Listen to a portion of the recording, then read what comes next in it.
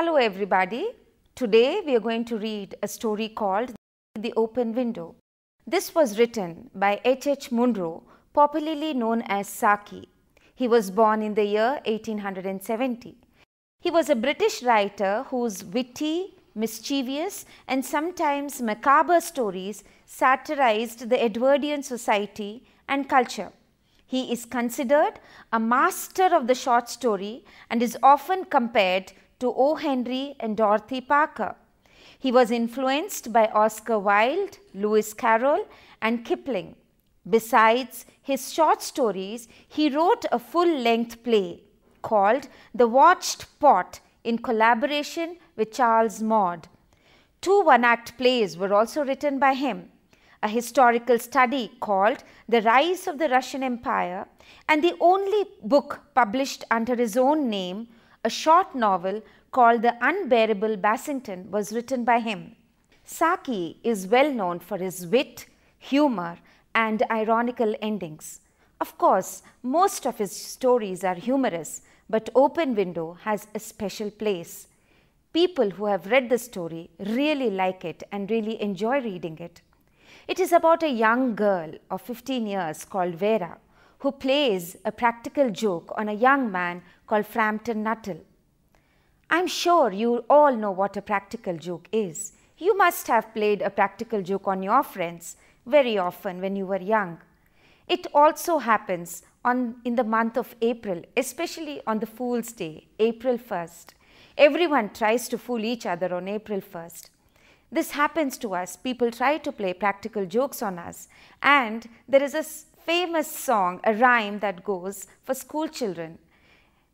April Fool, go to school and tell your teacher you are a big fool. Well, practical jokes are common in life.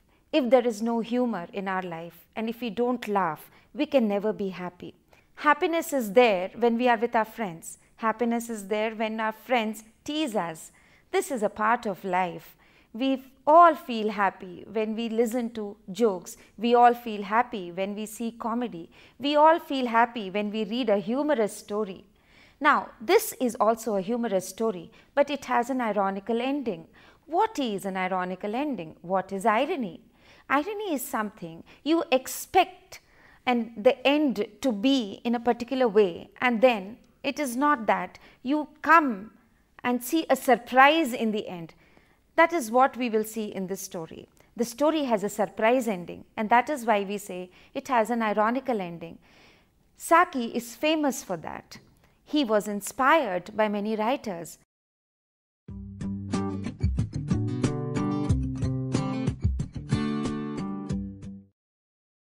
The Open Window is a short story set in a living room or a drawing room in a village wherein a young man comes to make friends with a lady called Miss Sappleton because he is new to the village. Let us learn more about the story now. The story basically has three characters, important characters. One is Frampton Nuttall, the other one is Vera, who is a 15 year old self possessed girl. I will explain that to you later. And Mrs. Sappleton. Of course, at the end of the story, you are introduced to three more characters Mrs. Sappleton's husband, her two brothers, and a small dog, a spaniel. Now, Frampton Nuttall is a young man who lives in the city, but he has had a nervous problem. Okay, so he wants to recuperate.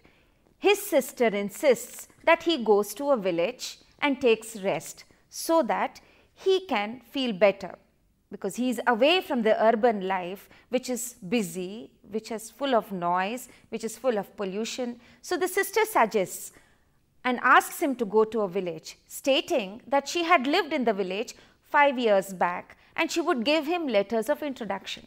What are letters of introduction? She would write letters stating that Frampton Nuttall is her brother and he has come to the village to recuperate and get well.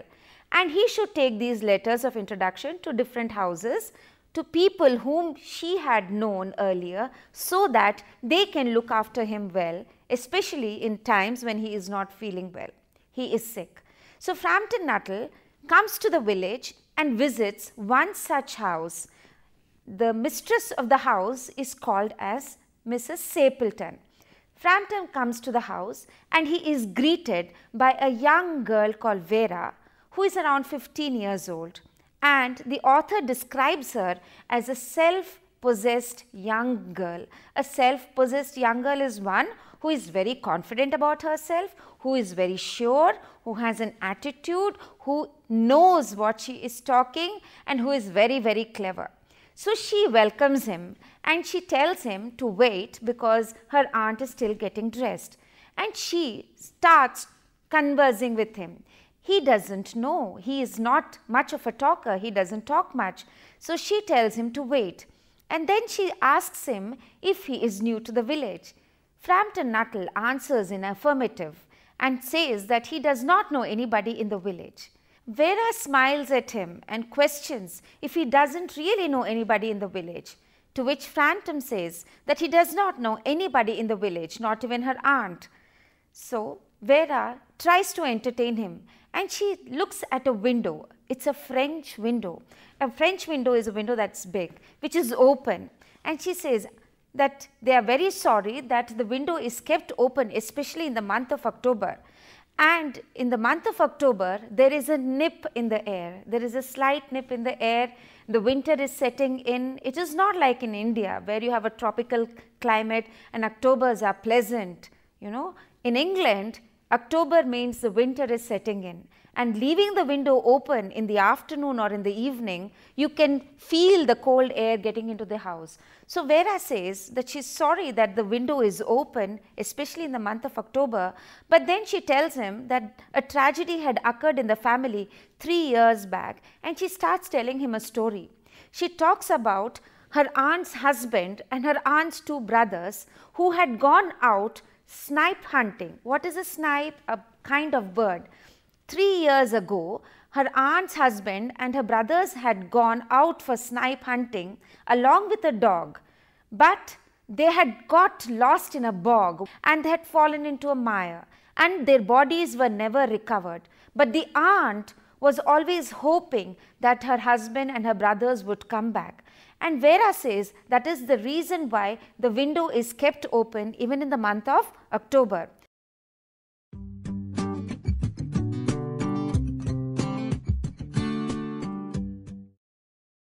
Now, Frampton Nuttall, as I have already told you before, had a nervous problem. The moment he hears the story that Vera tells him about the death of her aunt's husband and brothers, he starts getting a little nervous because he somewhere in his heart he thinks why has he come to their house especially on a day when it is an anniversary like a death anniversary? He starts feeling bad about it. But then he can't help it. He just keeps quiet. And vera you know tells him about the tragedy that had occurred in their family three years back. As she is talking, the aunt comes down. And she is surprised to see Frampton Nuttall. She starts talking to him and she hopes that Vera had been entertaining him. Frampton Nuttall says that yes, he was being entertained by Vera and then the aunt suddenly shifts the topic and says that the window is open and she says that she is sorry that the window is open especially in October because she is hoping that her husband and her brothers would come back from hunting. And uh, Frampton Nuttall just cannot understand why this lady is talking about an open window. He starts thinking that this lady has not come out of a tragedy. He starts feeling bad for the aunt and the aunt says, I don't want my house to get dirty. If they come from the front door, you know how men are and how dirty they can make the house. That is the reason why we keep this window open so that they can walk straight from the garden into the house so that the house can be saved from a lot of dirt. He tries to distract the aunt's attention because he thinks that she is talking about a tragedy. She is not come out of her tragedy. So he tries to distract her and he starts talking about his own illness because he hopes that people around are generally very, very excited when people say that, okay, we are ill. So he starts telling her about his illness, why he has come to the village and how he wishes to recuperate and so on and so forth. The aunt is really not bothered about what Frampton is talking. She keeps looking at the window and she's thinking that her husband is going to come down. And as this conversation progresses and suddenly in the middle she says, ah, there they come. Now, the window is right behind Frampton, Nuttall and the moment she says, ah, there they come, he looks at Vera's face and Vera has an expression of amazement and astonishment and she is looking agape at the window with a shocked expression and that is how she is looking. And Frampton Nuttall turns around and what does he see? He sees three men along with a dog walking inside the French window and coming into the house.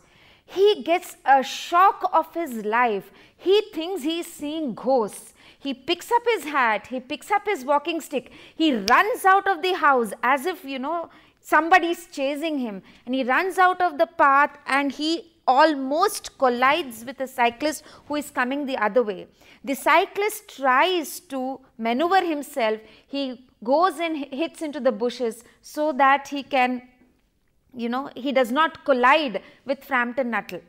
So, the aunt is surprised. Why did Frampton Nuttall run out like that? The husband is also very surprised and he questions, what a strange man. Why did he run out of the house as soon as they had come in? The aunt says that she also does not know why the young man ran out of the house because he was so obsessed about talking of his own illness that he did not talk much. But Vera is very calm and tells him that he ran away out of the house because not he, because he had seen the men, but he was afraid of the dog. She tells him that a couple of years back he was chased by a group of pariah dogs in the banks of river Ganges and he had fallen into a freshly dug grave and throughout the night he was in that grave with dogs surrounding him and shouting and barking at him and foaming at him. So from that day onwards Frampton Nuttall was very very afraid of the dogs and that is the reason why he had run out of the house because he was afraid of the spaniel. Romance at short notice is Vera's speciality. What is romance at short notice? That is exactly the words that the author uses. Romance at short notice is making up a story at short notice is Vera's speciality. She is very calm and she is very collected. When she realizes that Frampton Nuttall does not know anybody in the village, when she realizes that Frampton do Nuttall does not know her aunt, she makes up a story and she takes the open window and she starts weaving a story about the open window. She keeps the window as a symbol and tells about how the aunt's husband and brothers had gone for shooting and how they had died. And then when Frampton Nuttall runs away from the house, she again makes up another story saying that Nuttall ran away because he was afraid of the dogs. Whereas the readers, we think that Nuttall runs away because he thinks that the three men who enter the house were actually ghosts. And she very calmly says that no, no, no, Nuttall ran away because he saw the dog, he was afraid, because he was chased by a group of pariah dogs in India a couple of years back. And that is what romance at short notice is, making up stories, making up it was a practical joke that Vera played on Frampton Nuttall and that is the irony of the entire situation. We are expecting a kind of ending and suddenly it's a surprise ending a surprise ending is always called an ironical ending.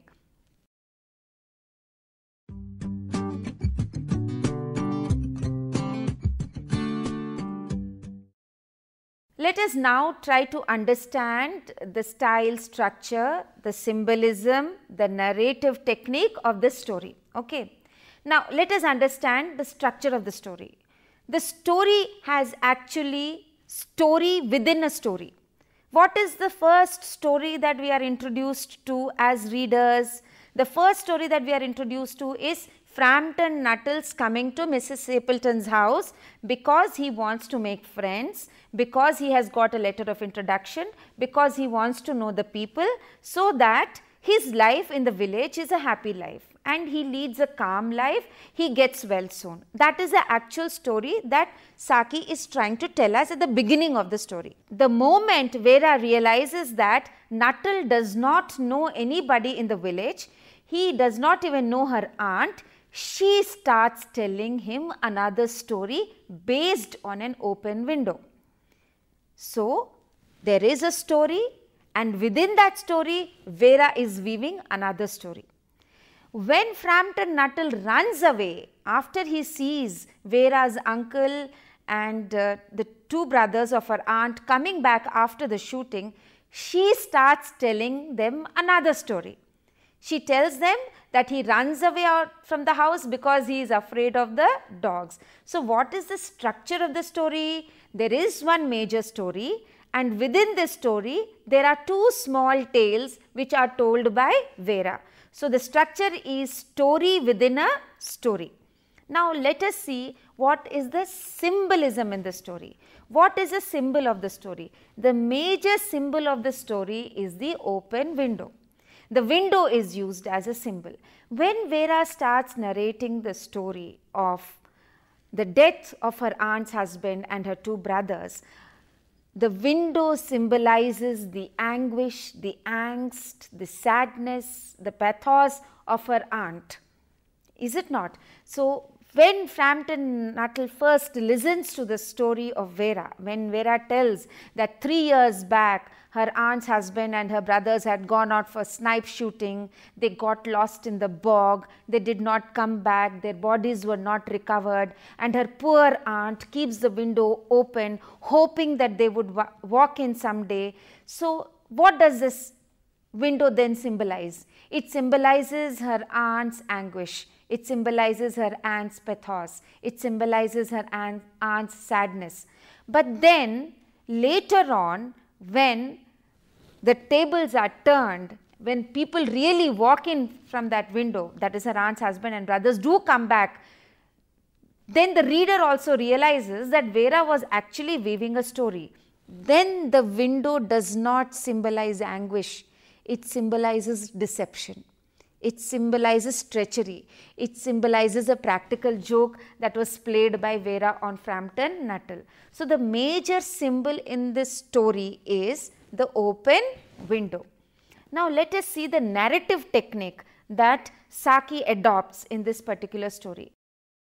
The narrative technique used by Saki is a third person narration. That is, Saki does not use the first person narration. He does not talk I, I did this or he does not, it is not a subjective narration either. He is not Frampton Nuttal who is narrating the story. It is just a third person narration. It starts with how Frampton Nuttal enters and how Vera tries to entertain him. So, for most part of the story, we are following the story from Nuttal's point of view. It is how Nuttall reacts to Vera's story. It is how Nuttall reacts to Mrs. Stapleton's uh, conversation. We are from, we read the story from Nuttall's point of view. So, it is definitely a third person narration. And then the, in the end, we come to know about Vera's deception. And as we come to the end of the story, we realize that how Vera has actually deceived Nuttall. And we now see the story from Vera's point of view. And the story ends saying that romance at short notice was Vera's speciality because she could you know make up stories like this without really thinking. She had the capacity she had the creativity she had the confidence of making up stories and she is able to fool not only frampton nuttal that way but also the reader. Because as we read through the story and if you are the first if you are reading the story for the first time you are also as gullible as Frampton Nuttal. You also start believing the story that Vera is trying to tell. So, the narrative technique used by the author here is a third person narration and that too we try to understand the story from Frampton Nuttal's point of view.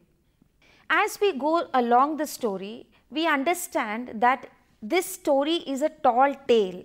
What is a tall tale? A tall tale is used when you are describing a legend or when you are describing a folklore because that in a folklore or a legend, there is an exaggerated version of the story. And that is exactly what Vera is trying to do in this. She is exaggerating the situation.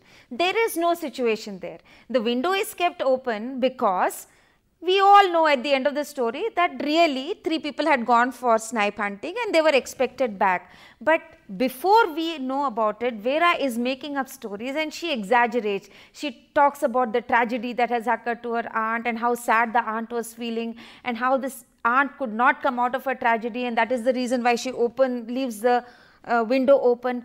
This exaggerated way of narration is called as a tall Now, let us further understand what are the themes that are covered in this particular story.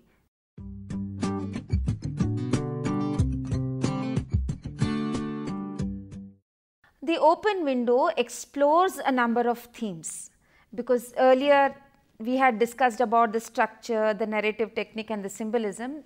The story also has a number of themes and I am sure you all know the story very well by now because I have been re repeating it many a times. The major theme here is imagination and reality. Frampton Nuttall comes to Mrs. Stapleton's house to make introductions. Vera realizes he does not know anything. She uses her imagination and she starts telling him a story and about an open window and that open window becomes a reality she tells him about a tragedy that occurred three years back and that is all her imaginative the thing that is going on in her imagination. And when they really do come in when the three people do walk in through the window that becomes a reality check. So this you know this confusion between imagination and reality persists throughout the story.